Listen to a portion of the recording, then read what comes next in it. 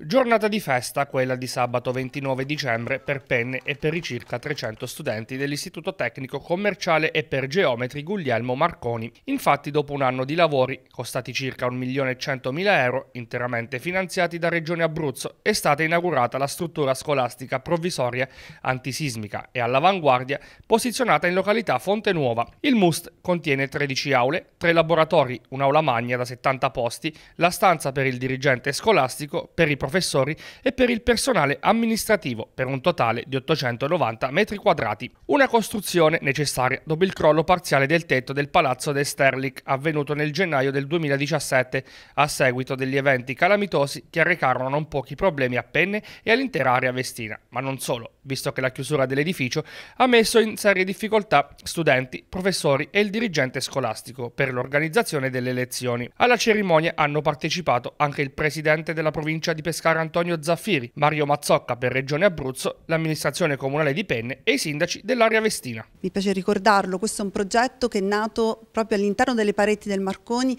grazie ad un gruppo di studenti dei geometri che hanno pensato di, di, proporre eh, qualcosa per poter risolvere il nostro disagio ed è nato il progetto di una scuola in legno. Questo progetto è stato ascoltato e finalmente insomma siamo qua, quindi per noi è veramente una grandissima soddisfazione, però è sicuramente una sede molto importante per tutta la città di Penne perché di disagi ne sono tanti. Ci sono altre scuole che attendono ancora di poter essere ristrutturate. Questa è una struttura che nel momento in cui noi torneremo nel nostro Palazzo De Sterlich potrà essere messa a disposizione di tutta la cittadinanza e magari di altri studenti, perché no? È comunque una risorsa, quindi sicuramente un bene, un patrimonio per tutta la comunità.